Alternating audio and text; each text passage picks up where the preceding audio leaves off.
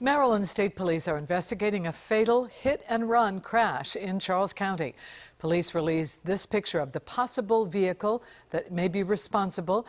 Just before 4 this morning, police say 34 year old Aaron Rust was standing or walking in the road on Route 5 in Waldorf when he was struck and killed.